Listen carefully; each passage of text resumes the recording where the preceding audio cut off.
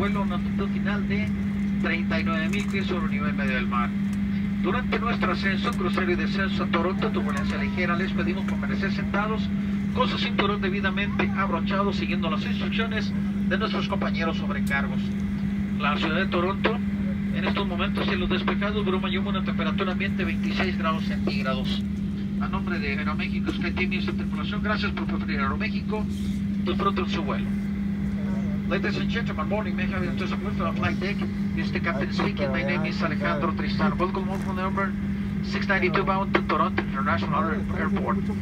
In a few minutes, we'll start our flight today. Four hours and five minutes. Flight time cruising altitude at 39,000 feet above the missile level. Then our climb cruise is heading to Toronto. We'll expect lecture and system is to use seatbelt fasten following the, our flight attendant's instructions. Toronto International Galaxy report, clear skies, some places no temperature 26 degrees Celsius, that means 79 degrees Fahrenheit. Mi jefe para México, Sky Team, Distro, thank you for choosing Aeroméxico. Enjoy the ride. Buenas noches, señores pasajeros. Aeroméxico, miembro SkyTeam, el comandante Oficial Miguel Ángel. Y a su tripulación les damos la más cordial bienvenida a bordo del vuelo 692 con destino a la ciudad de Toronto.